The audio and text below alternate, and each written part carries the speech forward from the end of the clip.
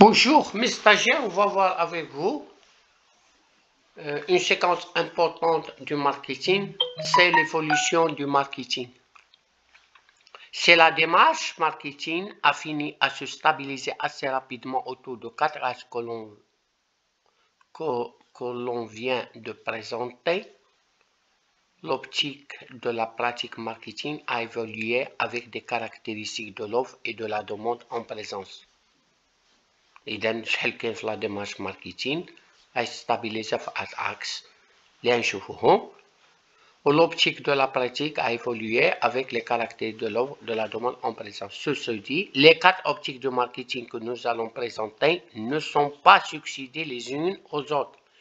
Ils caractérisent plus fortement telle telle période de l'histoire. Ça veut dire que chaque optique se caractérise, chaque période se caractérise par une, par une optique des pays industriels, mais sont plus emblématiques du cycle de vie d'un secteur d'activité. Ils peuvent donc coexister. Faites attention.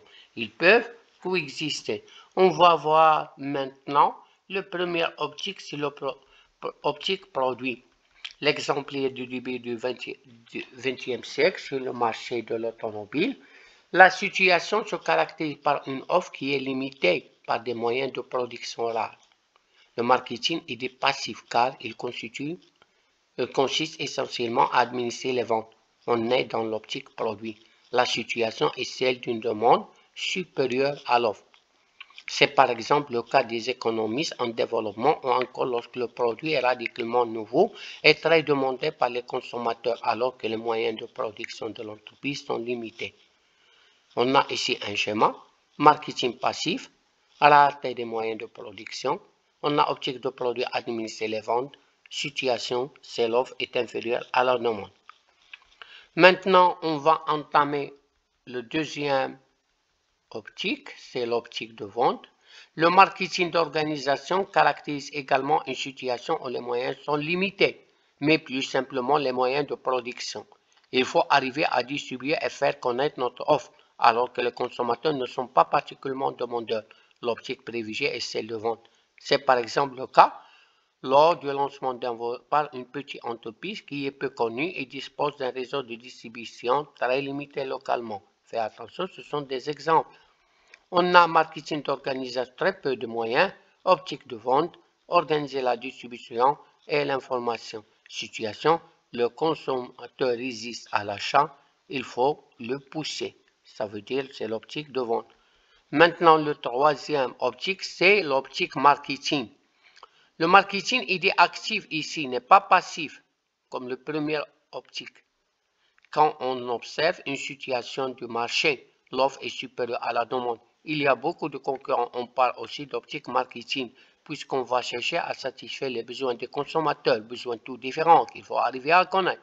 On est en plein dans la mise en œuvre de la démarche marketing avec études, stratégie, action et contrôle. On va chercher à regrouper les consommateurs qui ont des besoins similaires. On segmente, ça veut dire on divise, puis on cible et positionne notre offre par rapport à celle des concurrents. Faites attention, il y a plus de concurrents, il faut segmenter le marché, cibler et positionner.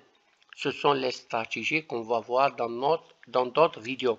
À l'extrême, on arrive aux pratiques marketing one-to-one, présenté, dans d'autres vidéos. Ceci est le fait de beaucoup d'entreprises intervenant en grande consommation comme L'Oréal et Danone. On a marketing actif, saturation du marché. Optique marketing satisfait les besoins du marketing. Euh, satisfait les besoins, les consommateurs. Situation, les consommateurs ont des besoins différents. Il faut former les groupes de consommateurs ayant des besoins similaires vers une approche one-to-one. Maintenant, le quatrième, le dernier optique, le marketing sociétal caractérise les sociétés post-industrielles où l'on ne va pas seulement envisager la demande comme l'ensemble des consommateurs, mais comme des individus également citoyens. On est alors dans la logique de partie prenante des partenaires économiques. L'optique sociétale se sent sur l'intérêt des consommateurs à long terme. On est dans une démarche éthique de développement durable. Ce sont les problématiques de l'entreprise citoyenne. du consommateur citoyen. Canon, par exemple, se situait dans cette veine quand il aide, à travers la fondation de crèches et les écoles, le mieux nourrir les enfants. McDonald's a également ses préoccupations sociétales quand il est créé une fondation pour permettre aux parents d'enfants hospitaliers les rejoindre. Marketing sociétal, société post-industrielle, optique sociétale, vie et vient être des consommateurs à long terme. On, considère les intérêts à long terme de la société, démarche éthique, l'optique sociétale.